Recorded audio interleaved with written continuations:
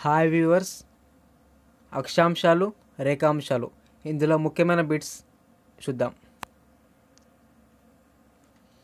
ఉత్తర దక్షిణ ధృవాలకు సమాన దూరంలో భూగోళంపై గీసిన వృత్తం పేరు. భూమధ్య రేఖ. జీరో డిగ్రీల అక్షాంశం అని దేనిని అంటారు? భూమధ్య రేఖ. భూమధ్య రేఖకు సమాంతరంగా ఉత్తర దక్షిణ ధృవాల వరకు గీసిన వలయాకార ఊహారేఖలు అక్షాంశాలు. అక్షాంశాలను ఏ విధంగా పిలుస్తారు? సమాంతర రేఖలు. అక్షాంశాల్లో అతిపెద్ద వృత్తం భూమధ్య రేఖ. మొత్తం అక్షాంశాల సంఖ్య నూట ఎనభై. ఇరవై మూడున్నర డిగ్రీల ఉత్తర అక్షాంశ రేఖ. కర్కట రేఖ. ఇరవై మూడున్నర డిగ్రీల దక్షిణ అక్షాంశ రేఖ మకర రేఖ. అరవై ఆరున్నర డిగ్రీల ఉత్తర అక్షాంశ రేఖ ఆర్కిటిక్ వలయం. అరవై ఆరున్నర డిగ్రీల దక్షిణ అక్షాంశ రేఖ అంటార్కిటిక్ వలయం. తొంభై డిగ్రీల ఉత్తర అక్షాంశ రేఖ ఉత్తర ధ్రువం. తొంభై డిగ్రీల దక్షిణ అక్షాంశ రేఖ దక్షిణ ధ్రువం. ఉత్తర దక్షిణ ధ్రువాలను కలుపుతూ భూమధ్య రేఖకు లంబంగా భూమధ్య రేఖను ఖండిస్తూ భూమి చుట్టూ నిలువుగా గీసిన ఊహారేఖలు రేఖాంశాలు. మొత్తం రేఖాంశాల సంఖ్య మూడు వందల అరవై.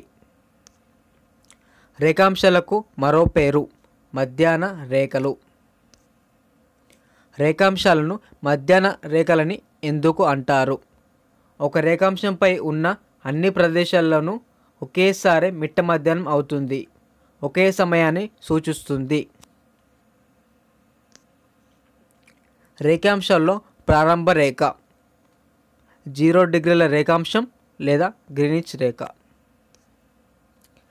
గ్రీనిచ్ రేఖ నుంచి తూర్పుగా నూట ఎనభై డిగ్రీల రేఖాంశం వరకు ఉన్న అర్ధగోళం పూర్వ అర్ధగోళం లేదా తూర్పు అర్ధగోళం. గ్రీనిచ్ రేఖ నుంచి పశ్చిమంగా నూట ఎనభై డిగ్రీల రేఖాంశం వరకు ఉన్న అర్ధగోళం పశ్చిమ అర్ధగోళం. అక్షాంశాల వల్ల ముఖ్యమైన ఉపయోగం ఏమిటి? ఒక ప్రదేశపు శీతోష్ణ స్థితిని తెలుసుకోవచ్చు. సూర్యకిరణాలు ఏ రేఖలను దాటి లంబంగా పడవు. కర్కట రేఖ మకర రేఖ.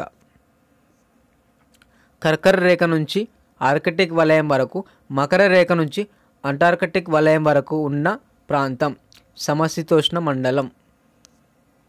ఆర్కిటిక్ వలయం నుంచి ఉత్తర ధ్రువం వరకు అంటార్కిటిక్ వలయం నుంచి దక్షిణ ధ్రువం వరకు ఉన్న ప్రాంతం అతి శీతల ధ్రువ మండలం ఒక డిగ్రీ రేఖాంశాన్ని దాటడానికి సూర్యుడికి పట్టే సమయం నాలుగు నిమిషంలో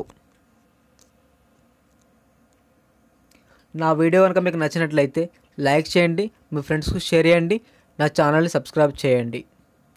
Thank you for watching this video